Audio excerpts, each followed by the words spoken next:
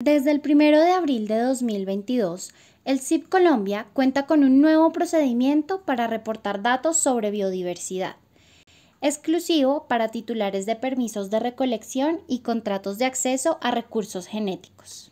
Antes de iniciar, se debe contar con el conjunto de datos estandarizado y las credenciales de acceso. Para esto, se puede hacer clic en los enlaces que aparecen en pantalla o consultarlos en la descripción del video. El procedimiento ahora consta de cinco pasos. 1 crear el nuevo recurso a través de la herramienta IPT, disponible en la dirección que aparece en pantalla o en la descripción del video. 2. Cargar el conjunto de datos y la extensión de permisos. Si el conjunto de datos está correctamente estandarizado, la herramienta IPT establece de forma automática la correlación con el estándar Darwin Core. 3. Documentar los metadatos.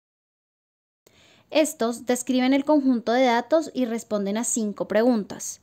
¿Qué? ¿Cómo? ¿Cuándo? ¿Dónde? ¿Y quién? 4. Publicar el conjunto de datos.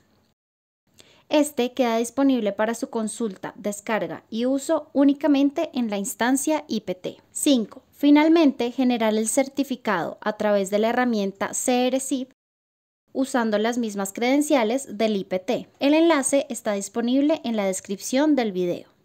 Con este reporte es posible aumentar el reconocimiento y atribución de la organización como publicadora de datos del CIP Colombia. Esta es una oportunidad para aportar al conocimiento libre y que juntos construyamos un futuro sostenible. Para más información, consulta biodiversidad.com.